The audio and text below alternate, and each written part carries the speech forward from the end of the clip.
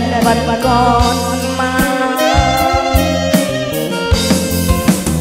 Nhiều đêm cô đơn, trong hoa phía tiếng nhạc nghe như xoay vào tim. Chăm chơn đâu đây